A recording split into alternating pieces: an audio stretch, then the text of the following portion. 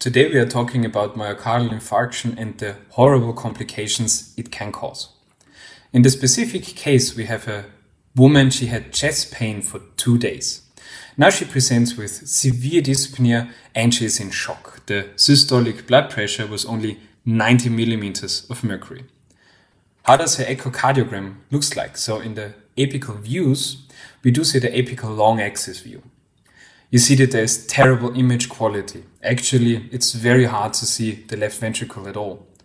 In the four chamber view, you get a better glimpse of the left ventricular structures and the left ventricle overall.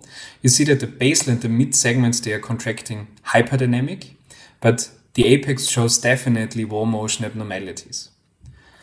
Moving on to the subcostal views, you also can evaluate the IVC. The IVC is dilated and there is, as you can see, no respiratory collapse at all. Furthermore, in the subcostal four chamber view, we do not see significant pericardial effusion.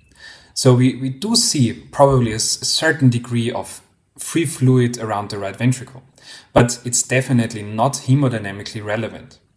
Furthermore, it's very hard to differentiate because we do not see the entirety of the right ventricular free wall if there are wall motion abnormalities of the right ventricle as well. So how can we help ourselves? How to optimize our image? Well, of course, we can use a contrast agent. In this contrast study, it becomes more clearer that there's truly something wrong with the apex. It's thin and there is no contractility at all. So in the contrast study, we do see that the apex is akinetic. What we did already visualize in the normal B mode imaging, the basal and the mid segments, they are hypercontractile. That also fits to the cardiogenic shock the patient is in. If we now focus even more towards the apex and we go back to B-mode imaging, actually we do see in the apex there's a lesion in the supraapical cap. So this is possibly a complication of acute myocardial infarction by means of rupture. Now using two images, the B-mode image and the contrast enhanced image, we do see that the wall is very, very thin and there seems to be that there is a ventricular rupture, a septal rupture of the left ventricle. Furthermore, in more detailed imaging, it's also possible that we do see a pseudoaneurysm. A pseudoaneurysm can also be caused in acute myocardial infarction. In several views, we do see again an apical long axis view with contrast enhancement. There is a rupture of the left ventricular wall present. In more detail now, you see that LV rupture is actually happening in the apex. Here's the area where the rupture did happen.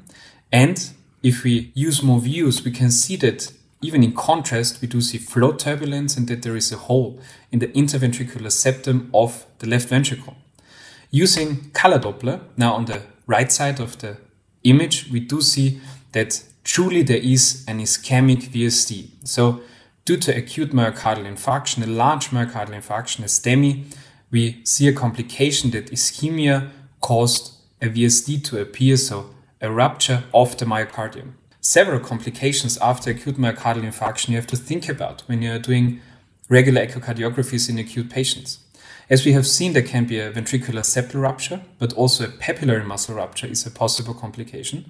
Furthermore, pseudoaneurysm or aneurysm formation after the infarction, and even left ventricular free wall rupture can happen.